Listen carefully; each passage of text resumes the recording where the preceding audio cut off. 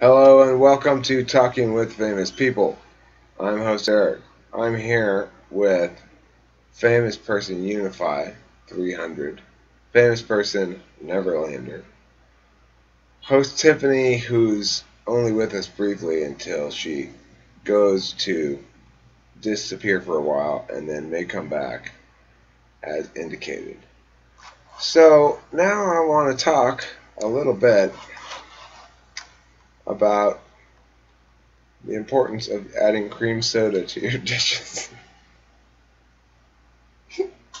no, not really. That's what we were talking about right before I started the video, though, was the fact that you can add cream soda to your bacon when you're cooking it, and it tastes like you cooked it in maple syrup.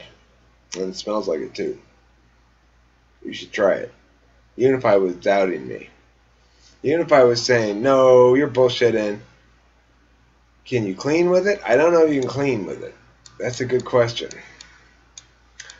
But uh, I do know that no matter what you use uh, cream soda for, you shouldn't also use mayo.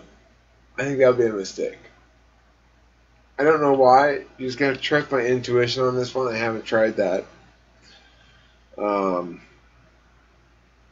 but that's my guess. Is that mayo and cream soda with meat is a bad idea. Just cream soda with meat, however, is a very good idea. Now let's look at the chat. Let's take a, a tweet from a viewer. Can you wash your hair with it? asks Dolores from Kansas City. Well, Dolores, yes, you can. You can wash your hair with cream soda. And it's going to make it smell like you cooked your hair in bacon grease and maple syrup delicious. So anyway, I'm sitting here in Los Angeles right now. It's actually fairly comfortable for a change. It's been really hot. It's maybe, I don't know, mid 80s right now. Isn't too bad. And maybe even lower 80s. We've got a nice cross breeze through the garage. And I'm chatting with people who are chatting in the chat. Namely, Neverlander, and Unify. So, we were talking in the last video about foodstuffs. It lends me to think of foodstuffs my neighbor grows. My neighbor's an old Chinese woman, and she has a yard that's tropical. It's very verdant. There's a lot of growth going on there. And one of the things she does frequently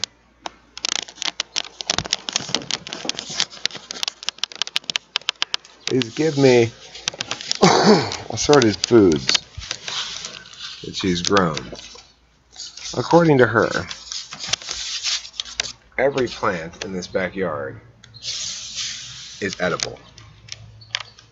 Yes, it's true. Every single thing back here produces something that she can eat. And I know this because she will give me all sorts of different things and always say to me, here, you can eat this. I'm back, Eric. Hello. And occasionally I've tried I'm to eat those things. You're on what? I'm on my webcam now. Oh, cool. Well, I'm going across and looking at the neighbors' food things that they make. You see, this is the Chinese woman, and she's got these papaya trees. Can you see the papayas on them? Cool. Yeah, well, everything back in her yard, she says you can eat it, basically. And she tries, she gives it to me and says, here, eat this. And every single bit of it is absolutely disgusting. She doesn't grow a single normal thing, right? She doesn't grow like oranges, right? it's all like some, some weird shaped leaf that you could eat if you wanted to, I guess. Probably all has some Chinese medicine purpose. I don't know. We're not recording right, right, right now, right? No, we are recording. We are? Yes, I have an exciting tour of my neighbor's backyard. I didn't know. You couldn't tell? By the excitement, by the level of excitement going on? I'm shocked. It was pretty exciting. Anyway, Tell that you didn't like it. now that we now that we have seen the papayas, I hope that we all can appreciate how nice it is to have papayas growing nearby. Now, papaya is not something I really want to eat, and the reason is because they smell like feet. Never been to Papaya King in New York. Do you agree, Unify, that papayas are gross?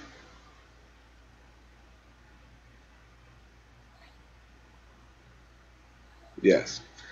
Tiffany, have you do you agree that papayas are gross? I don't personally like papayas, but a lot of people do. And those people are what? Oh, those people Wrong. are people. Those people are wrong. Those people are wrong to like papayas. Just as you are wrong to like mayonnaise. Papayas are amaze balls, says Neverlander. No, they're not. They smell gross. Apparently, they're amaze balls. Well, I'll tell you what we're gonna do at some point. There, I see a couple that look pretty ripe. I could probably go get my ladder, pick one of them, and bring it down here. I can eat it right now. That's what I should do, huh? If, if you don't like papayas, why would you do that? Well, I want to prove that they're gross. You would just be proving that you don't like this lady's. Doesn't mean that there No! aren't better papaya. No, because I'm so open-minded about papayas possibly being acceptable to me that if I still don't like it, I prove definitively that for all people they are gross. Lady could be a bad farmer. No, she's an excellent Maybe farmer. Did you see her backyard? Did you see her backyard? You said not one thing she's given you has tasted good. Are you telling me that not one of those things is capable of tasting good? I'm telling you that the only thing that she grows back there that I recognize as a thing is papaya. Everything else is like some weird, like octagon lump of greenish shit, right? And she goes, "Here, eat this." And I go, "Ah, "What is this?" She goes, "Oh, it's good. You'll like it." And I go, He's probably fucking with you. Like it's all like none of it's really edible. You're like a normal stomach. Like, ah, what is it? Okay, I've often seen her show me. She'll she'll show me. She'll be like, "No, look, it's good," and she'll eat some of, of the same thing, right? up in- you know, It's all awful. So, uh, but the papayas, at least I know what those are. I knew what those were before any. She hasn't told me about the papayas. I know what those are. Those are papayas. I've been to Hawaii. I recognize papayas. The papaya juice Yeah, says lot of people- unify. a lot of people like bone juice. That's that was what I was referring to because there's this hot dog joint in New York called Papaya King. They're the best and great. Papaya King, huh? How They would such a that's a strange business to be successful? Papaya King. Oh, let's it's see. mostly hot dogs.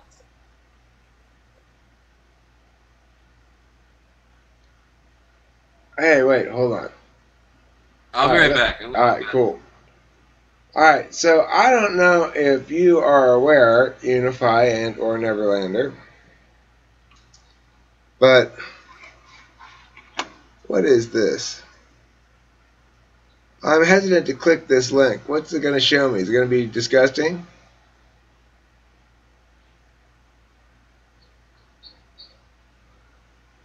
Don't? Okay, I won't. Did you click it, Unify?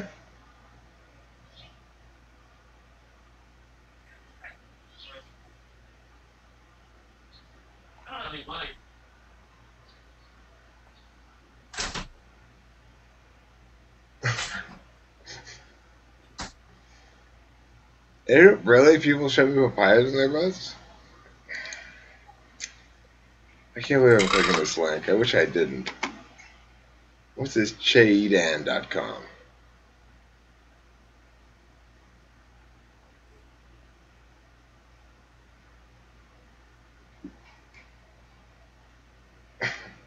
That's gross. It's gross, but it's not nearly as gross as what Unify said. That's not people shoving papayas up their butts, Unify. Fortunately. It was, well, you saw a video re recording audience because it's chicken feet soup with papayas in it. Who would eat that, though? That looks so gross, right? Would you eat that, um, Neverlander? Do you want to eat that soup?